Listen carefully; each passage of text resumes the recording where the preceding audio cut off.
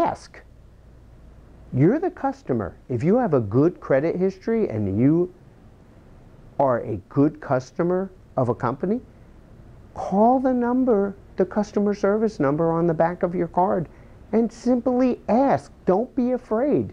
You have to understand that credit card companies spend a lot of money to get new customers. So it's a heck of a lot easier to keep a customer happy and give them a lower rate than going out and finding a new customer where you don't really know what the credit history is or if you're ever going to get paid back if you're sitting in the creditors.